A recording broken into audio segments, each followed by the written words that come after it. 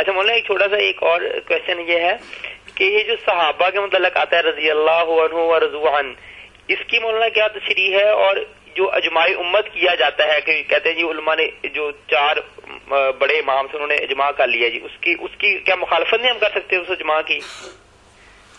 आपके सवाल सवाल हैं सवाल होते हैं लंबे मगर वक्त होता थोड़ा।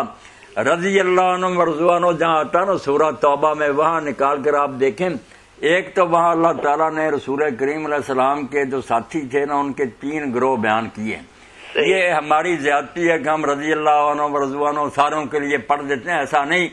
एक ग्रोह तो अव्वल नंबर लोगों का बयान किया वो सारे महाजर अंसार भी नहीं। वसाबकून मिनल मुहाजरीन वंसार मुहाजरीन अंसार में से जो अव्वल आए और नेकियों में भी आगे निकल गए वल्लजीन तबुम बेहसान। और जो बाद में भी आए मगर फिर उन्होंने इन्हीं पहले जैसे ही नेकी की तबुम बेस उसी तरह के नेक। ये ग्रोथ है जिनके साथ अल्लाह राज़ी हो गया या होगा ये भी माना करना जो ना हो गया। ये भी नहीं ठीक। दूसरी जगह आप आए देखें कि इन लजीन आमनु आमिल हम खैर बड़िया जजाहम इन रब्बिम जन्नात अदन तजरी मिन तादन खालिदीन फ़ी अबदा रज़ी अल्लाह व रज़वान ज़ालिक मन खशर ये सारे अहले ईमान को अल्लाह कह रहा कि जो ईमान लाए और नेक काम किए मादी का सीगा मगर सब कहते हैं कि जो कुछ हो जाना है ना पक्का है क्योंकि अल्लाह का वादा उसको बयान कर दिया कि हो गया समझो तो होगा ये क्यामत के दिन। अब जो इस मैार पर उतरेंगे कि वो साबिकून होंगे वो होंगे वो दूसरा ग्रोह वहाँ बयान फरमाया कि मदीना वाले और इर्द गिर्द मुनाफिक हैं ऐसे पक्के जिनको रसूल तू भी नहीं जानता हम सिर्फ़ जानते दूसरा ग्रोह यही है हजूर का साथ ही बयान तीसरा फरमाया वो लोग हैं जो मिले जुले काम करते हैं। ना वो पहलों जैसे हैं ना मुनाफिक हैं। वो आखरू ना तरफ़ वो मानते हैं कि खलत है वाह कुछ अच्छे काम हो जाते हैं कुछ बुरे। ये भी साहबा है पर मैं इनके लिए कोई पक्का वादा नहीं। शायद अल्लाह ताला इन्हें माफ़ कर दे। तीन ग्रोह तो वहाँ ही है। मगर वहाँ से धांधली करते हैं कि ये पड़े जाते हैं। कोई फैसला नहीं करता फिर वहाँ बातें हैं औसाफ की।